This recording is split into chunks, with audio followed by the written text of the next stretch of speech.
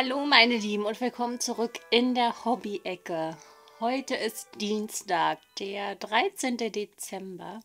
Der Arbeitstag ist mal wieder geschafft und ich versuche gerade noch ein paar letzte Sonnenstrahlen einzufangen. Und habe noch ein bisschen an meinem Ranunculus weitergestrickt, wie ihr sehen könnt. Und ich dachte mir, wir starten dieses gemütliche Video heute mal wieder mit meinem, ja, fast Vlogmas-Strick 2022. Den hatte ich ja schon im ersten Video angefangen. Und der erste Ärmel ist auch schon fertig. Hier unten habe ich wieder mit der rechten verschränkten Masche gearbeitet und der normalen linken Masche. Und so sieht er jetzt schon mal aus ist mal wieder ein schönes Teil geworden. Wird auf jeden Fall ein sehr warmer, kuscheliger Pullover. Und ich denke mir, bevor Vlogmas mit Sarah van Raat zu Ende ist, wird auch dieser Pullover fertig sein. Und ja, damit herzlich willkommen zurück. Ich hoffe, ihr habt es euch gemütlich gemacht und habt was Leckeres zu naschen, vielleicht ein schönes warmes Getränk und euer Handarbeitszeug dabei. Ich muss mir jetzt auch erstmal einen Tee holen. Ein Moment.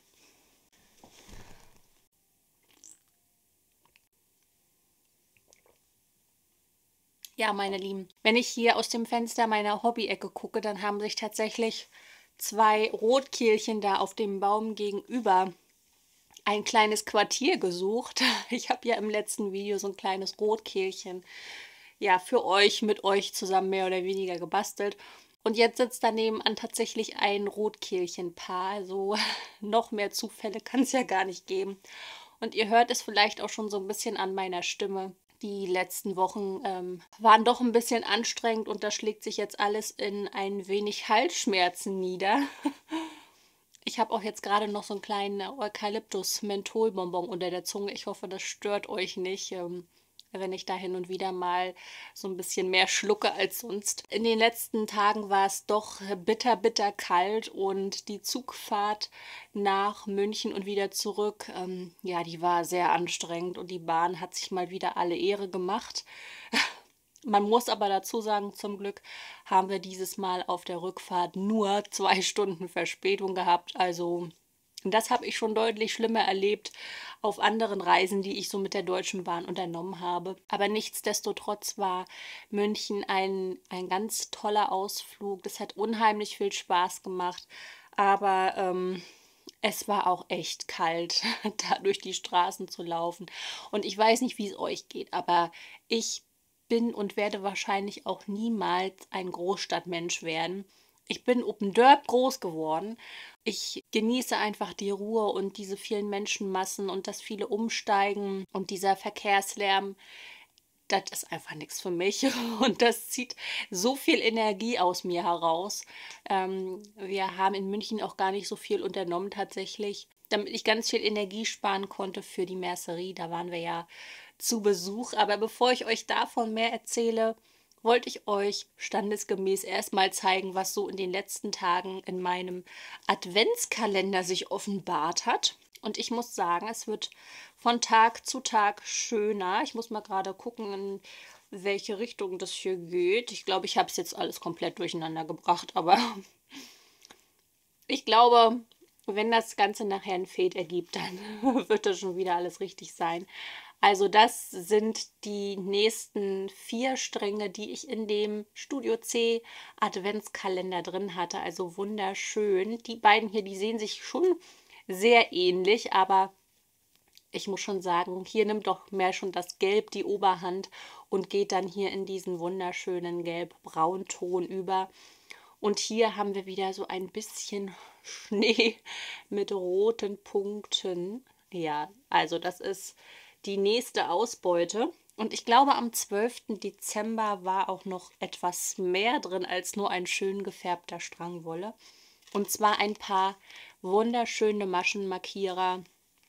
Clara hat wirklich eine, einen ganz ausgezeichneten Farbgeschmack. Der spricht mich wirklich sehr an. Wirklich schöne dunkle Töne, bisschen moody, aber auch etwas Zartes dazwischen.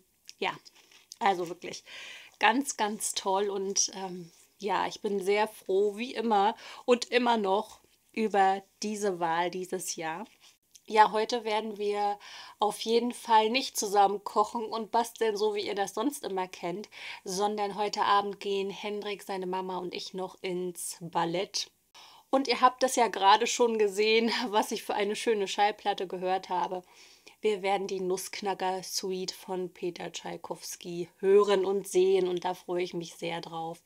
Ich habe das schon mal bei uns im Landestheater gesehen und ich bin immer wieder verzaubert von dieser wunderbaren Musik. Und fast jedes Stück in dieser Suite hat man schon mal irgendwo gehört, sei es bei Kevin alleine New York oder Kevin allein zu Haus oder in anderer Weihnachtswerbung zum Beispiel. Also das ist wirklich sehr populär. Und wenn es nur ein paar Töne sind, dann weiß man in der Regel gleich, okay, das muss aus der Nussknacker-Suite sein. Und da fahren wir heute Abend noch hin, beziehungsweise jetzt gleich. Ich muss mir nur noch ein bisschen was anderes anziehen. Wir gehören nämlich noch zu der Kategorie, die sich ein bisschen schicker anzieht, wenn sie ins Theater geht. Ähm, das ist einfach unsere persönliche Vorliebe. Das ist was ganz Besonderes für uns und auch schon so ein ganz kleines vorweihnachtliches Geschenk an uns alle. Die Karten, die habe ich schon vor einer Weile besorgt und dachte mir, das wäre so schön. Hendriks Papa ist leider nicht so fürs Ballett zu begeistern, deswegen kommt der leider nicht mit. Aber ich denke, wir drei werden uns heute Abend richtig schön machen. Aber jetzt heißt es erstmal umziehen, noch ein bisschen aufhübschen, damit ich nicht ganz so blass und krank aussehe. Und dann nehme ich euch erstmal mit zur Nussknacker Suite nach Bad Oeynhausen.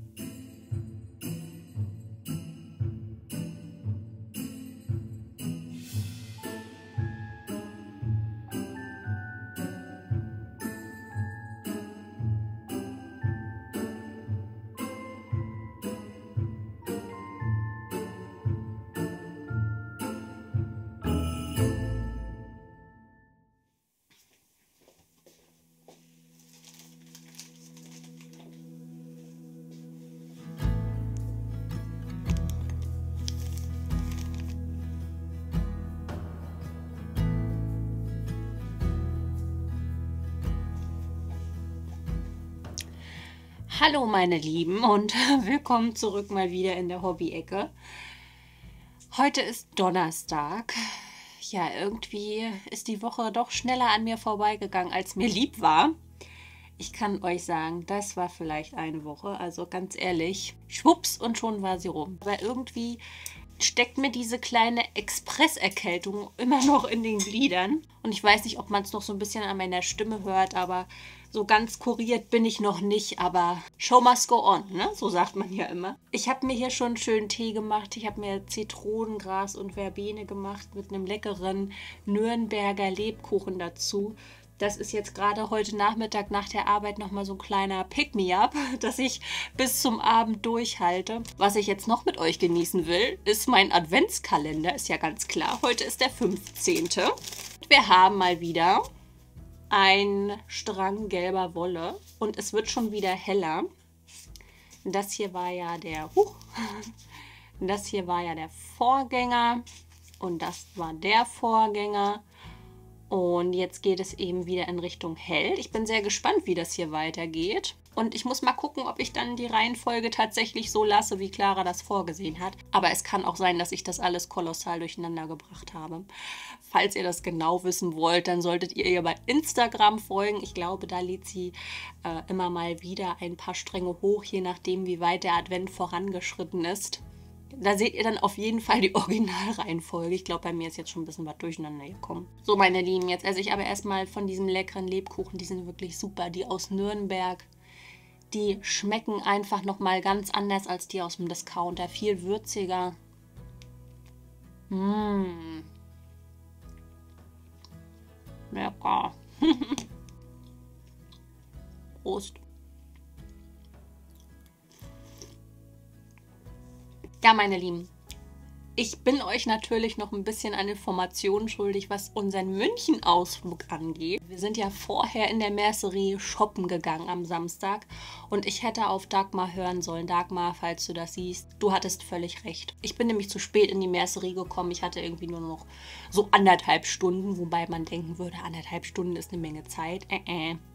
Aber nicht, wenn man als Wollverrückter in ein Wollgeschäft geht, das so wunderschön ist wie das von der Mercerie. Ich ärgere mich im Nachhinein, dass wir nicht schon um 10 angekommen sind, um dann bis 14 Uhr genug Zeit zu haben, um alles anzugucken. Also ich habe wahrscheinlich nur einen Bruchteil von dem gesehen, was Sabine und ihr wunderbares Team da ausstellen zum Kaufen, zum Kuscheln, zum Staunen ja, das war einfach ein ganz, ganz tolles Shopping-Erlebnis, wenn man da schon gleich reinkommt. Das ist wie eine ganz andere Atmosphäre. Man hat das Gefühl, man ist in einer anderen Welt. Man wird gleich ganz freundlich begrüßt und es ist einfach so eine ganz warmherzige und sehr hilfsbereite Atmosphäre. Und nochmal vielen Dank an euch alle, an das liebe Mercerie-Team, dass ihr uns so freundlich aufgenommen habt. Und als kleiner Disclaimer vorweg, alles, was ich euch nachher zeige, habe ich selber gekauft. Ich mache hier jetzt unbeauftragt Werbung für die Mercerie. Ich mache das aber auch gerne, weil ich da Leute kennengelernt habe, die mit Leidenschaft dabei sind, die mit Leidenschaft das Ganze am Laufen halten, das Ganze weiterentwickeln, mit diesem ganzen Strickdress, mit Strickkursen und mit diesem ganzen wunderschönen Atelier. Und man merkt einfach, wie die Leute da alle bei der Sache sind. Und ich finde, sowas lernt man halt nicht in der Schule. Etwas zu finden, was in einem Begeisterung auslöst, was eine Leidenschaft auslöst, wo man merkt, dass man wirklich bei der Sache ist. Ähm, das ist einfach schön und das habe ich sehr genossen und das war einfach toll. Und deswegen zeige ich euch jetzt erstmal, was ich so aus meiner Perspektive in der Mercerie sehen durfte.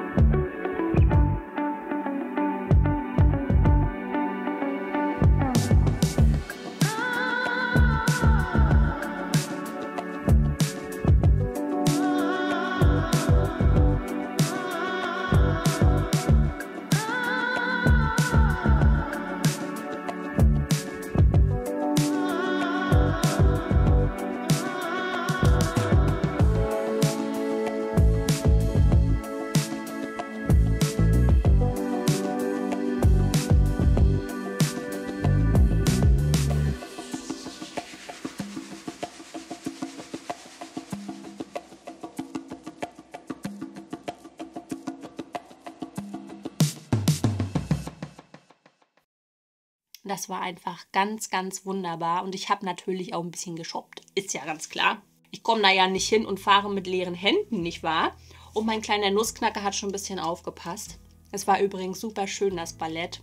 Wie erwartet, ein bisschen anders als im Landestheater. Aber das hier war ja auch eine etwas kleinere Bühne mit einem etwas kleineren Ensemble. Aber das war trotzdem super schön. Aber jetzt will ich euch erstmal zeigen, was ich so ergattert habe. Und auf jeden Fall musste die Rapunzel mit, das ist ja das neue Modell, das die Gudrun, Kim und Sabine in Zusammenarbeit ja rausgebracht haben, um die wunderschöne Casa Grande Jack 90 in ein schönes Licht zu rücken. Und ich habe mich dann gleich für die Originalfarbe in diesem wunderschönen Bordeaux entschieden. Das Garn ist wirklich ganz wunderbar. 90% Jack und 10% Lammwolle, super fein. Das ist dann hier eben auch dieser rote Faden, der das Jack so ein bisschen umgarnt. Und da habe ich mir alles für die Größe S eingepackt. Ich glaube, ich habe acht Knäuel gekauft. Und das wird auf jeden Fall eins meiner nächsten Projekte. Es ist wirklich super, super schön. Ich mag die Farben einfach sehr. Und das ist so weich. Es ist jetzt im Knäuel noch nicht ganz so weich. Aber wenn man das Teil nachher fertig gestrickt hat und einmal gewaschen und gespannt hat, dann flufft es tatsächlich so auf. Ich habe das Originalmodell in der Hand gehabt. Es ist so wunderbar weich und oh, kuschelig und ich freue mich schon. Und mein Ranunculus ist ja bald fertig, das heißt, ich könnte schon mal die nächsten Nadeln spitzen. Und ich habe mir diesmal nicht nur Wolle gekauft, sondern ich habe mir auch das ein oder andere Stickkit schon vorab im Shop so ein bisschen ausgeguckt, was ich gerne haben möchte. Und da habe ich mir von Corinne Lapierre ähm, zwei Sachen mitgenommen. Und zwar einmal ist das die Little Miss Maus. Die sieht so aus. Ist die nicht herzallerliebst? Also ich finde die super süß mit der kleinen Maus da in der Hand und dem grünen Röckchen. Ich fand das so süß. In diesen Kits ist wirklich alles drin, was ihr für diese kleine Maus braucht. Da ist sogar eine Nadel dabei und äh, das ganze Stickgarn und das Vlies und die Füllwatte. Also ist ganz wunderbar. Und das habe ich für meine Mama gekauft. Eigentlich wollte ich ihr das noch fertig machen und zu Weihnachten hinschicken. Aber ich fürchte, dass das leider nicht mehr funktionieren wird. Aber dann wird sie es nach Weihnachten bekommen oder dann eben im neuen Jahr. Aber das hier habe ich für sie mitgenommen. Und ich habe noch eine zweite Sache von Corinne Lapierre. Und zwar die Nährolle, wo man alle seine Nähutensilien quasi reinbauen kann. Das Ganze sieht so aus. Das ist also die Sicht von außen. Das ist also ein grüner Filz. Da werden so wunderschöne Blümchen drauf gestickt. Und von innen sieht das Rollmäppchen dann so aus. Hier gibt es verschiedene kleine Fächer. Da kann die Schere rein. Da können die Nadeln festgesteckt werden. Und wenn man gerade am Arbeiten ist, hat man hier noch so einen kleinen Puff, wo man die Stecknadeln befestigen kann. Es sieht also ganz zuckersüß aus. Das musste auch noch mit. Und für mein English Paper Piecing Herz musste natürlich auch noch ein Set neuer Nähnadeln mit. Und für den Tannebaum habe ich auch noch ein bisschen was geshoppt. Das habt ihr vielleicht gerade auch schon so ein bisschen im Video gesehen. Und zwar habe ich mir die äh, drei französischen Hennen gekauft. Die sehen so aus. Das ist ein Strickkit von Nancy Nicholson. Also wunderschön. Ne? Die sind ja so detailreich diese Vögel. Das ist der absolute Knaller. Ich hoffe, dass ich mich nicht zu dusselig anstelle. Das sieht nämlich schon so aus, als ob man das schon können muss. Aber mal gucken. Ich bin ja jetzt nicht jemand, der Angst vor Herausforderungen hat und ich werde das schon hinkriegen, dass sie irgendwie so nachher aussehen wie auf der Abbildung. Das hoffe ich jedenfalls.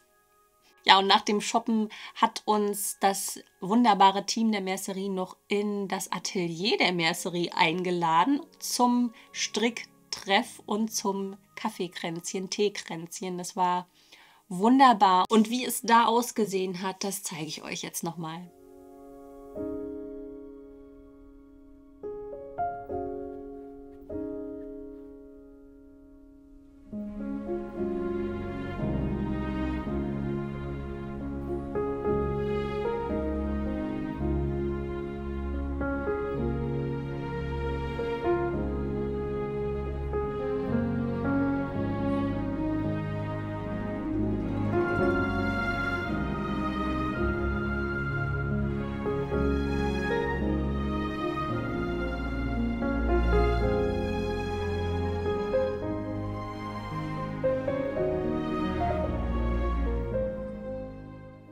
Ja, meine Lieben, ist das nicht schön? Also, als wir da schon reingekommen sind, das war angenehm warm. Es hat nach Kuchen und nach Lebkuchen geduftet. Es war ein bisschen lauschige Musik im Hintergrund und man hat aber trotzdem auch die Arbeitsflächen gesehen wo die Designerinnen hin und wieder mal sitzen und ihre Anleitungen durchrechnen. Also es war auch eine unheimlich kreative Atmosphäre gleich zu spüren. Man konnte auch so ein bisschen ein ganz klein wenig überall Wolle sehen, aus dem Lager herausquellen tatsächlich. Aber es war so angenehm, so schön. Es waren sehr hohe Decken und Sabine hat einen wunderschönen großen Tisch gefunden, wo man sich gerne zusammensetzt und Tee trinkt und schnackt und natürlich strickt oder das Stricken lernt, wenn man in einem der Kurse ist.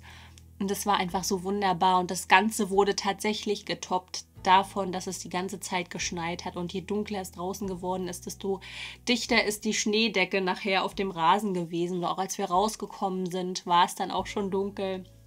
Und es hat so wunderschön geschneit und es war einfach herrlich. Wir haben so viele gute Gespräche geführt. Ich habe natürlich mit Dagmar gesprochen, meine Lieblingsdesignerin, von der Freda, von der Blanche, von, von der Luna natürlich. Also ich mag die Dagmar unheimlich gern und es war eine große Freude, sie kennenzulernen. Liebe Grüße, Dagmar. Es war aber auch eine große Freude, Kim kennenzulernen, mit Sabine zu schwatzen oder mit Bettina. Wir haben beide so ein bisschen gefachsimpelt über das Thema Fotografie und Videos aufnehmen. Ich habe Dagmar Berg kennengelernt. Ich durfte mit Barbara von Stieglitz plaudern. Das war auch sehr, sehr angenehm. Sascha von Sascha Nitz war auch da. Also es war ganz, ganz toll, eine ganz wunderbare Atmosphäre und ähm, es war einfach schön, das erleben zu dürfen. Eine Sache habe ich tatsächlich noch gefunden in meiner Tasche. Und zwar ist das hier so eine wunderbare Blechdose. Und da sind diese Stitch-Holder drin. Ich habe die jetzt in der Farbe Grau. Ich glaube, glaube, die wurden von der Mercerie zu jedem Einkauf dazugepackt. Und ich muss schon sagen, die hier sind deutlich besser als diese Scooby-Doo-Bänder, von denen ich euch neulich erzählt hatte. Alleine weil das Lumen hier von diesen äh, Seilen dicker ist und man da auch mit Holznadeln gut reinstechen kann, um Maschen stillzulegen. Aber das war es jetzt auch, was ich euch noch gern erzählen wollte in diesem Video. Und jetzt gehen wir natürlich nochmal in die Küche, weil es gibt kein Sarah van Draht Vlogmas Video ohne eine vernünftige Kochszene. Ich habe heute ganz ehrlich gesagt nicht mehr so viel Energie, wer weiß was zu machen. Deswegen gibt es bei uns eine ganz einfache Gemüsepfanne. Das ist immer so unser Notfallplan, wenn wir keine Lust auf Großkochen haben, aber trotzdem irgendwie was Gesundes essen wollen. Ich schnacke jetzt nicht mehr lange. Ich schnibbel jetzt mal ein bisschen Gemüse, mache das alles fertig, mache den Ofen an und dann würde ich sagen, sehen wir uns Sonntag wieder zum vierten Advent mit dem voraussichtlich letzten Vlogmas-Video mit Sarah van Draht für 2022. Und ich werde euch auf jeden Fall meinen fertigen Randonkulus zeigen. Also meine Lieben, macht's gut, macht's euch gemütlich, macht's euch schön. Ich wünsche euch einen schönen Start ins Wochenende. Lasst es euch gut gehen und bis Sonntag. Tschüss.